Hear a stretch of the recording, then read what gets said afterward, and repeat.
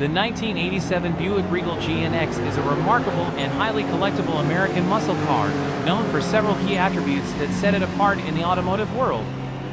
Turbocharged V6 power, at its heart, the GNX packs a turbocharged 3.8-liter V6 engine that delivered outstanding performance for its time. With 235 horsepower and a substantial 330 lb-ft of torque, this car could accelerate with impressive speed.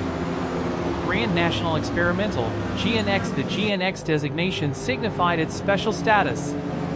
Buick teamed up with ASC slash McLaren to take the standard Regal to another level in terms of power, handling, and overall performance. It was among the fastest cars of the 1980s.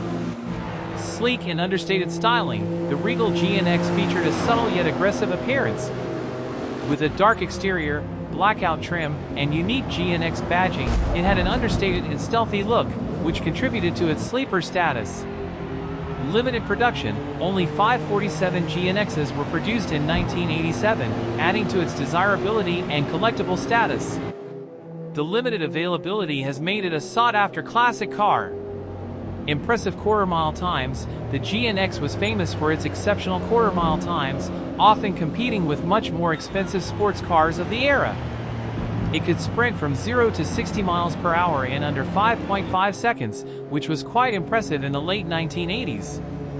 Cutting-edge technology, Buick incorporated innovative technology into the GNX, including an intercooler for the turbocharger, advanced engine management systems, and an upgraded transmission, making it a sophisticated performer cult following, over the years, the Buick Regal GNX has developed a devoted fan base and has become an icon in the American muscle car world.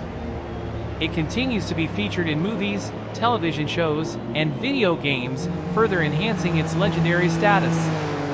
In summary, the 1987 Buick Regal GNX is a high-performance American classic known for its impressive power, understated design, limited production numbers, and enduring appeal among car enthusiasts. It stands as a symbol of the muscle car era of the 1980s and remains a highly coveted collector's item.